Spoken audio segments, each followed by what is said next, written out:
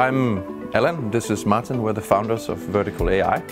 and uh, we're uh, building a AI, so an artificial intelligence software product uh, to reduce the cost of wind energy.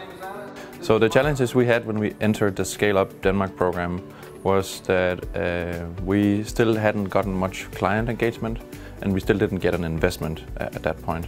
Uh, and uh, five months later, we had succeeded in both of those things.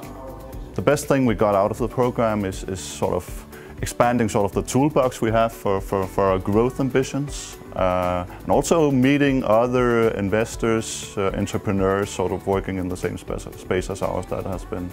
uh, a big learning experience for us. We're ambitious, we have a clear growth strategy, so I think that that is what sort of uh, how we're going to use it uh, forward, both building momentum in terms of clients and also uh,